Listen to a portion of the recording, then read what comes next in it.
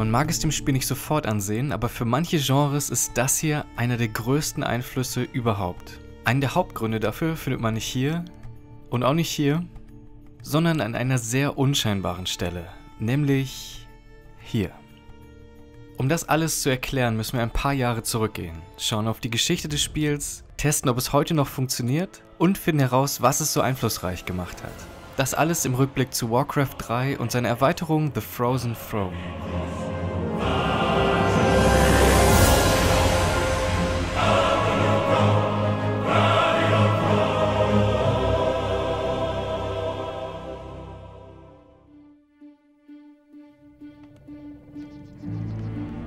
In den 90ern und Anfang der 2000er war Blizzard im Bereich der Echtzeitstrategie und Rollenspiele extrem fleißig. Vor allem durch drei Serien. Diablo, StarCraft und nicht zuletzt Warcraft. Zwischen 1994 und 2001 kam fast jedes Jahr ein Titel dieser Serien heraus. Und das auch sehr erfolgreich. Und was macht man, wenn man sehr erfolgreiche Rollen- und Echtzeitstrategiespiele programmiert? Genau, man packt beides in einen Mixer und baut einen Rollenspiel-Strategietitel. Das erste Konzept Ende der 90er enthielt viele mutige Elemente. Etwa wurde auf den klassischen Basisaufbau verzichtet, die Kamera hing fest hinter unseren Einheiten in der sogenannten Third-Person-Perspektive und unsere Armee bestand nur aus sehr wenigen Einheiten, die dafür aber von mächtigen Helden angeführt wurden, die der zentrale Bestandteil des Spiels sein sollten. Aus verschiedenen Gründen wurde dieses frühe Konzept jedoch gekippt und 1998 ein neuer Versuch gewagt. Das Ziel war immer noch ein Mix aus Rollenspiel und Echtzeitstrategie mit Helden und vielfältigen Fähigkeiten. Dafür fanden jedoch Elemente wie der Basisaufbau wieder den Weg zurück ins Spiel. Relativ schnell tauchte das Spiel dann auch in Form von Gameplay-Videos, Trailern und Screenshots auf Messen auf. Ungefähr zwei Jahre nach dem ursprünglich anvisierten Datum erschien Warcraft 3 schließlich im Juli 2002. Sammelt die Horde und führt euer Volk dem Schicksal entgegen.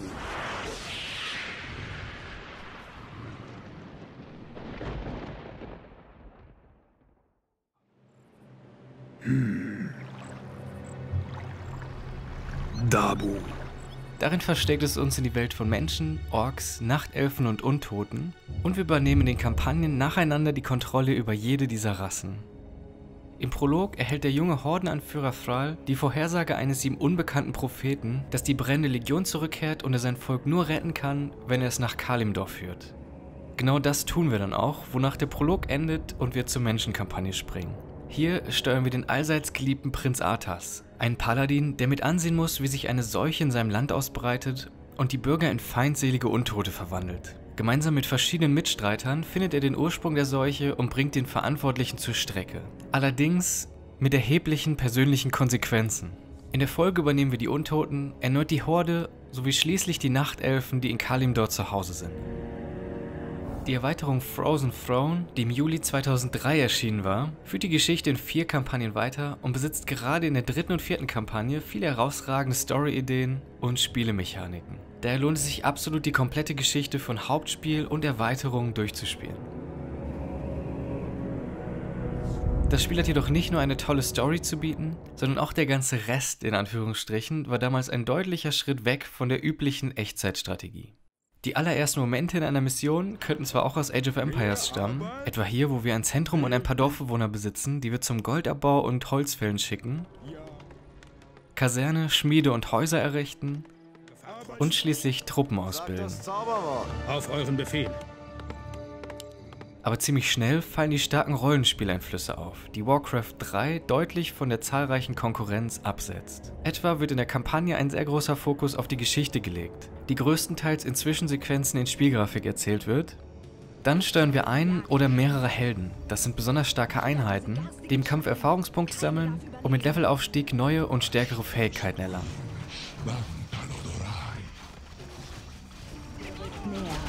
Während der Mission erhalten wir Gegenstände, die unsere Helden tragen können. Etwa Ausrüstung, die unsere Werte erhöht, oder Tränke, die Mana und Leben aufladen. Einige dieser Gegenstände finden wir nur, wenn wir die Spielwelt abseits der offensichtlichen direkten Wege zum Ziel erkunden.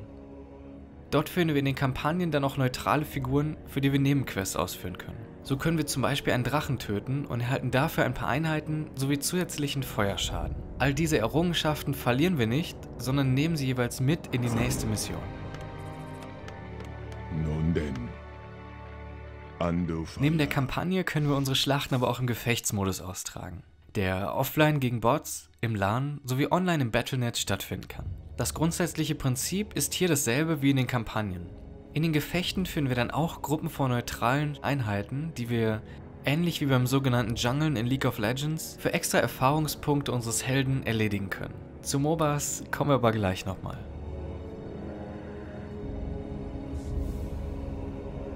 Das alles hätte schon ausgereicht, um aus Warcraft 3 ein tolles Spiel zu machen. Aber wie schon erwähnt, findet sich einer der Hauptgründe für seine Beliebtheit und den Einfluss auf nachfolgende Spiele hier, im Editor. So ein Programm besitzen zwar einige Spiele, aber Warcraft 3 ermöglicht nicht nur das Erstellen von Karten, sondern auch Einfluss auf Einheiten, Sounds, Spielwerte, Skripte, Kamerapositionen und mehr. Durch diese vielen Möglichkeiten entstanden schnell große Communities, in denen solche Werke geteilt wurden. Darunter waren Mario Kart und Mario Party Klone, unzählige Tower Defense Spiele, Plants vs. Zombies Varianten oder Spiele, in denen wir Katzen oder Schafe steuern. Unter diesen Mods war auch Defense of the Ancients, heute vielleicht besser bekannt unter seiner Kurzform, Dota. Das Konzept hinter Dota und allen nachfolgenden Spielen dieser Art war nicht neu. Immerhin übernahm es das Prinzip von Aeon of Strife, das Jahre vorher für StarCraft 1 herausgekommen war. Mit Dota und seiner Variante Dota All-Stars kam der Erfolgszug des sogenannten MOBA-Genres jedoch erst richtig in Gang. Und während in den folgenden Jahren weltweit Wettbewerbe mit Dota ausgetragen wurden, entstanden auch zahlreiche andere MOBA-Vertreter, etwa Demigod, League of Legends, Monday Night Combat, Dota 2 oder Heroes of the Storm. Für die Ehre. Tod den Ungläubigen! Wie jetzt sicherlich schon zu erahnen ist, wurden das Hauptspiel und seine Erweiterung damals von Magazinen über alle Maßen gelobt. Die GameStar gab ihrem Test des Hauptspiels etwa den vielsagenden Titel Das schlichtweg beste Strategiespiel und landete bei 93%.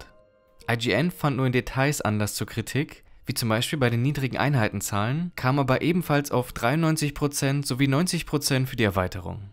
Eurogamer schließlich fand das niedrige Einheitenlimit nervig, kritisierte, dass man nicht weit genug herauszoomen könnte, lobte aber den gelungenen Sprung von 2 in 3D sowie so ziemlich alles andere und kam auf 9 von 10 Punkten.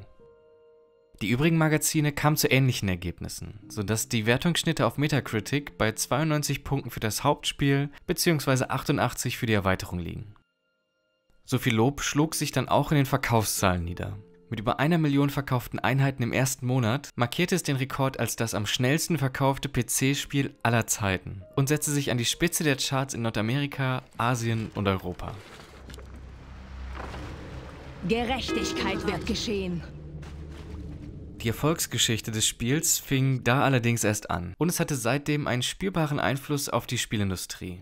Dota All-Stars half dabei, Dota-Klone bzw. MOBAs bekannt zu machen andere Titel übernahmen das Konzept von Rollenspielelementen und Helden. World of Warcraft baute die Welt aus Warcraft 3 weiter aus und erschien 2004. Filme, Comics und Gesellschaftsspiele wurden produziert und das Spiel selbst erhielt über die Jahre ständig Updates von Blizzard. Übrigens genauso wie etwa Diablo 2 oder StarCraft 1. Und daher ist es ohne Probleme auch heute noch möglich, das Spiel auf modernen Rechnern zu spielen und ins Battlenet zu gehen. Seitdem 2016 nach einer fünfjährigen Pause regelmäßig neue Updates erscheinen, wurde immer wieder spekuliert, dass ein Nachfolger oder zumindest ein Remaster anstehen würde. Und tatsächlich wurde vor kurzem, sprich Ende 2018, im Rahmen der BlizzCon Warcraft 3 Reforged für 2019 angekündigt. Ob das Paket aus Hauptspiel und Erweiterung in einer besseren Grafik und mit Einflüssen aus World of Warcraft die großen Erwartungen erfüllen kann, bleibt erstmal abzuwarten. Bis dahin kann jeder mit der alten Version von Warcraft 3 die Anfänge von World of Warcraft und MOBAs erleben. Oder einfach nur eines der besten Strategiespiele überhaupt spielen. Und damit erneut vielen Dank fürs Zuschauen und bis zum nächsten Mal.